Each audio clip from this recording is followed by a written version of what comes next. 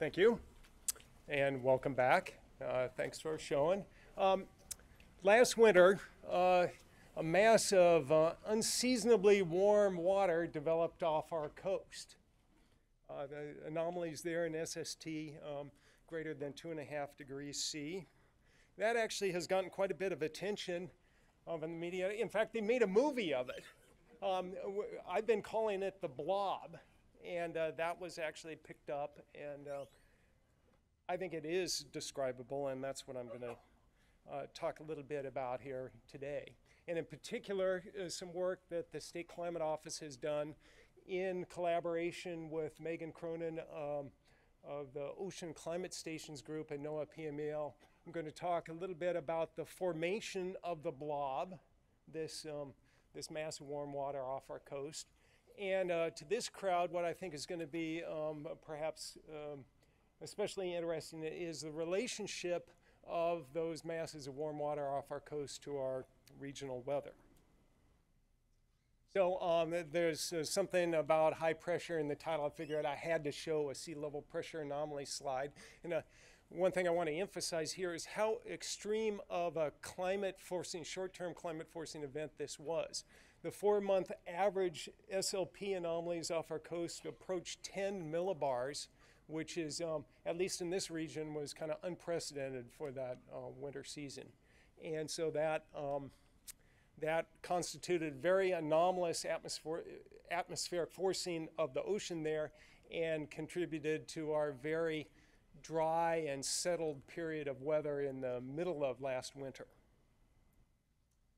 Uh, in the analysis that I'm going to be showing, there's uh, kind of three different kind of sources um, that I use for that. Um, the first part here is going to be on the actual the mechanisms behind the um, the blob, how, how, it developed. And there I'm going to uh, be using the GODAS um, ocean uh, data assimilation system. It's actually kind of like an ocean reanalysis, kind of like an atmospheric reanalysis, in which it's an ocean model that's ingesting all the available observations to hopefully kind of keep it on track. And so um, that's the what I'm going to do first. And then in looking at how our weather relates to um, the conditions offshore, uh, looking at some um, an atmospheric reanalysis, uh, specifically the NCEP reanalysis for that, and then going to touch on a little bit on the predictions from the CFS model for this summer and how they did.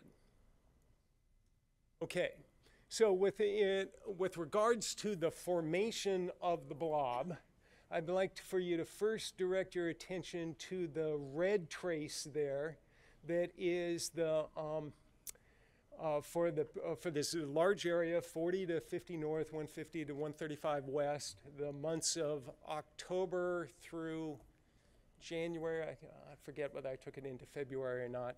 Um, what the uh, the red trace there is the mean wind speed cubed.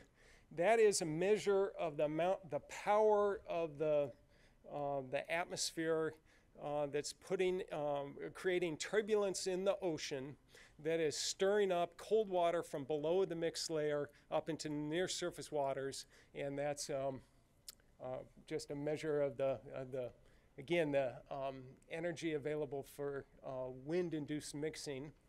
The blue trace there is the wind stress curl, another thing oceanographers look at all the time. Positive uh, values there um, and it's usually positive, but not always over that region, uh, implied that cyclonic vorticity is being put into the ocean. Negative values uh, imply that it's um, uh, anticyclonic vorticity being gone into the ocean. And the main message I want to make here is that the wind speed cubed was the least in that record of 30 plus years. Uh, from the point of view of the wind stress curl, it was unusual in that it was slightly negative, but there was some precedent for that. In terms of the oceanic response, a couple of traces here. The, uh, again, the blue one, the first one I want you to look at is a time series, again, over the kind of middle of winter here, of how much deepening of the mixed layer there is from October to February. Normally it's about 65 meters. It goes from something like 30 meters deep at the uh, and fall into um, over 100 meters or so deep. And right there at uh, the last winter, it was unprecedented, unprecedented little amount of deepening, something like 55 meters of deepening rather than the usual 60 something. Um, the red trace there is just a measure of the kind of the the strength of the density interface there at the base of the mixed layer and that was also unprecedented. And that's a measure of how warm the water is and less dense this mixed layer is on top of uh, uh, the um, waters at depth. So uh, this slide I want to spend a little bit of time on, and this is uh, just the last about the kind of the mechanisms behind the blob, and just showing uh, here uh, the results from um, a mixed layer heat budget. Again, for this big area, 50 by 40, uh, 15 degrees longitude across for the winter as a whole. And I direct your attention to the lower trace there that shows the average amount of, or the cooling from October to February for that mixed layer. It's typically something like seven and a half degrees Celsius over that, that winter period. And again, our last year, a record little cooling of something like five and a half degrees.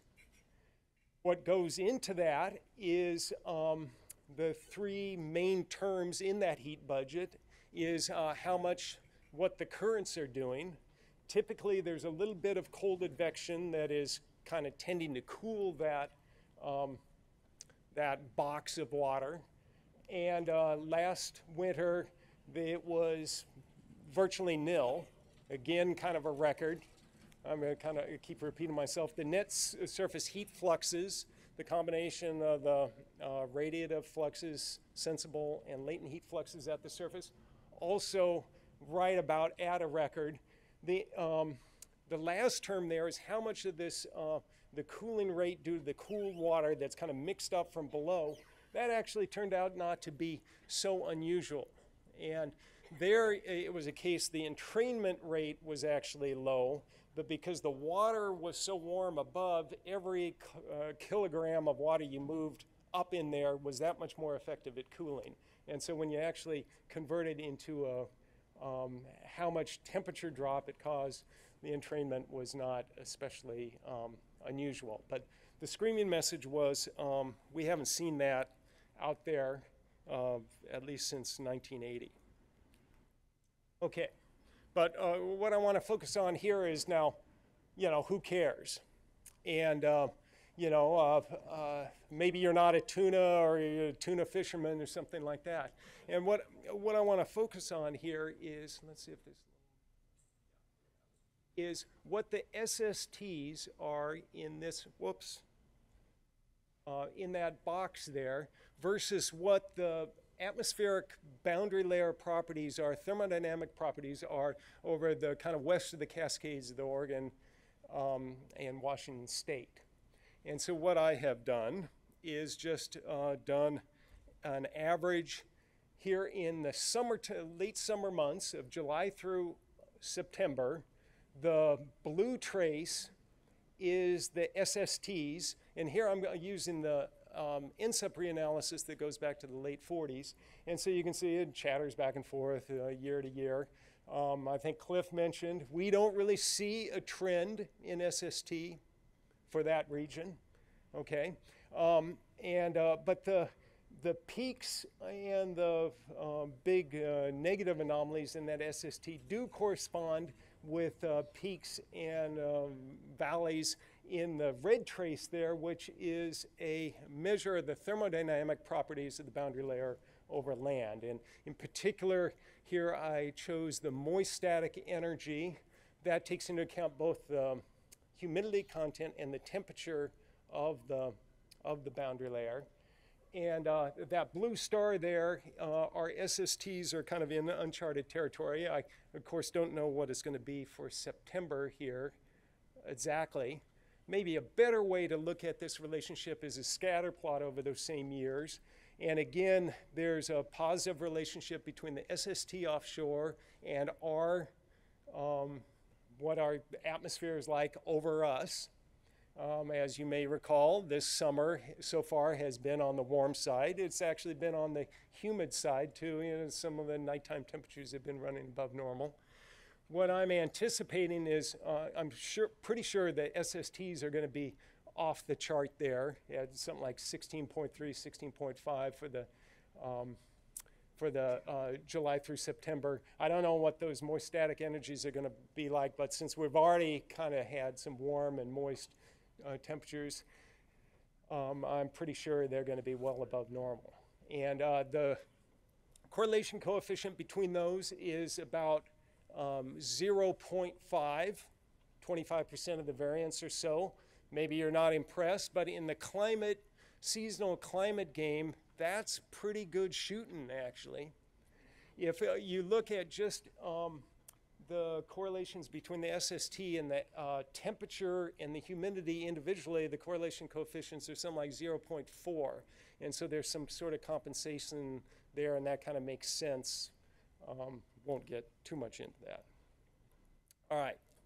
Uh, back to, you know, okay, these uh, SST's anomalies persisted into the summer that I'm arguing were um, largely not wholly created by the weird weather we had last winter.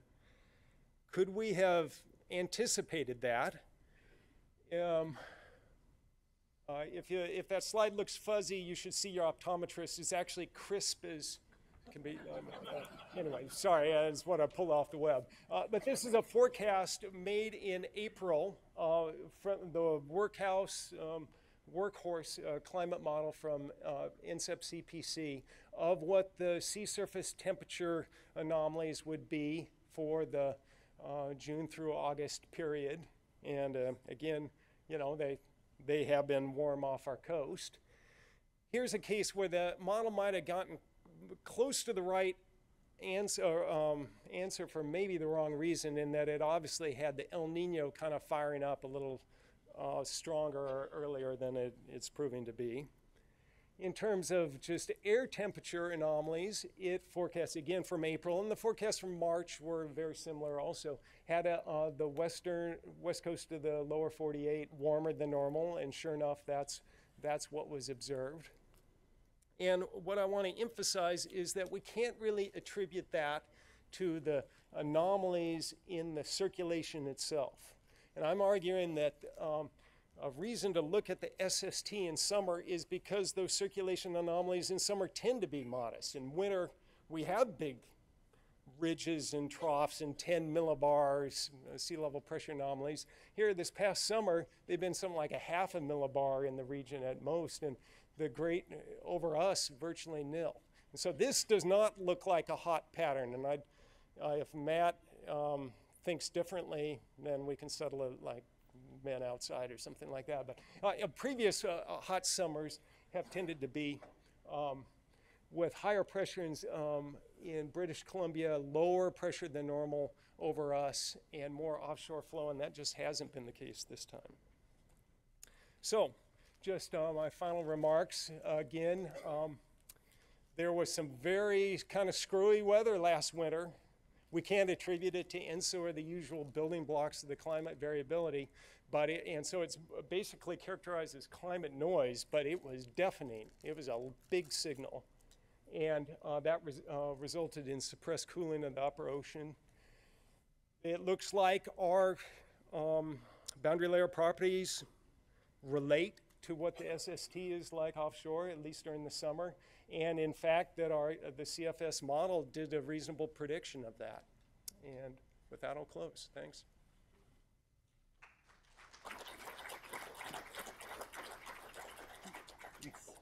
Um, any questions for um, for Nick on his talk or issues around the, the seasonal forecast? Uh, Guillaume.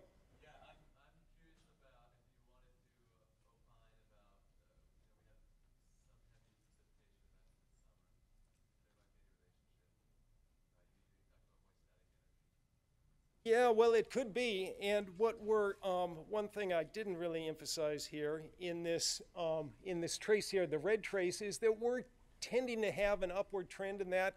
I'm seeing a little bit of an increase, at least last few years, which doesn't make a trend, of uh, kind of summer thunderstorms around here. There's been more than there have been in the distant historical past, and so it's intriguing. I, I can't say that that's definitely been established, though.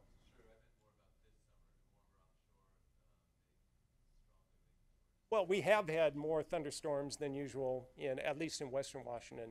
And if you're thinking that's, you know, the kind of heavy uh, precipitation events that could be associated with uh, this. Uh, our summer thunderstorms, a lot of times the moisture is aloft, so it gets kind of complicated, I think.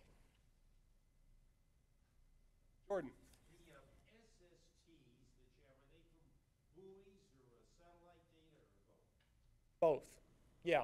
And there, we have a really good idea of the SST there, and I, I think there's um, quite a bit of confidence in that. Uh, the stuff that I did with the ocean reanalysis, that's um, less constrained by real observations than the SST. There is um, other satellite altimetry and other things that go into that, but I, I'm quite confident it was warm out there at the surface. Um, exactly what was going on at depth is a little, uh, especially back before the Argo days. Um, it's hard to say. Thank you.